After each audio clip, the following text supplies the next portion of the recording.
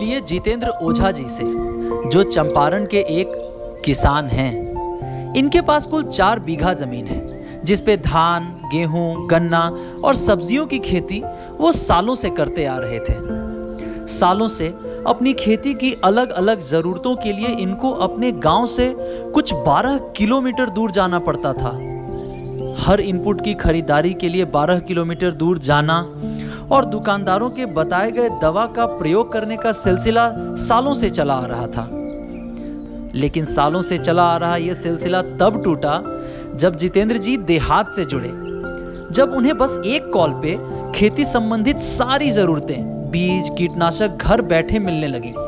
जब बस एक मिस्ड कॉल पे, देहात टोल फ्री पे फ़सल की बीमारी का सही उपाय मिला। और इतना ही नहीं जब वो देहात के माध्यम से अपनी फ़सल को सही दर पर बेच पाए।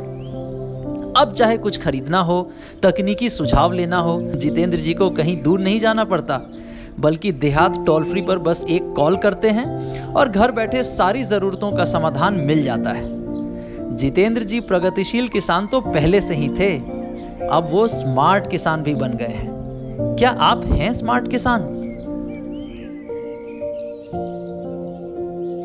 Thank you.